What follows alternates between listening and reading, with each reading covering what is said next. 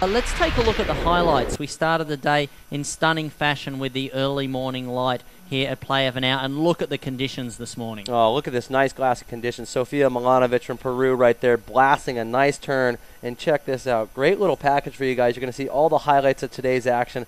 Great turn right there. This girl was shredding. Look at she's a world-class uh, surfer right there, world tour surfer. And check out Dimitri right here. Great little surfing. She had everyone really stoked for Australia. Check this turn out. Wham! That was great work right there. Great surfing uh, from Dimitri.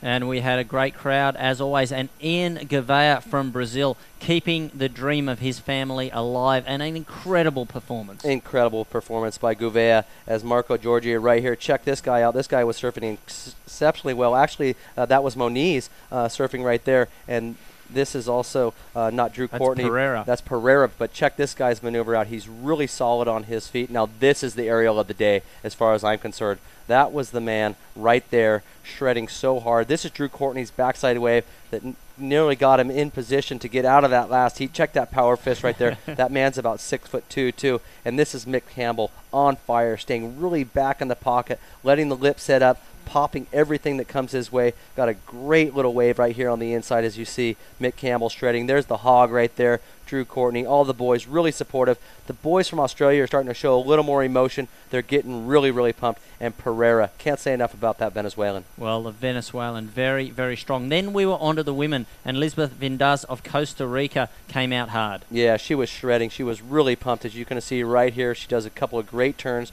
She talks about really being really stoked to be representing her country. And right there, the 11 year old. Can't say enough about her representing her country. This looks like Silvani, possibly from America, right on the tip right there. That's great work. Look how poised and calm he is. Give me heels. Nearly digs it out and pulls it back up. That was a great score. Some state of the art surfing right there, uh, combined with some traditional old school stuff. And here's Clemente. This guy is insane out of Peru. What a great surfer he is. Unfortunately, we didn't get to see the end of that wave.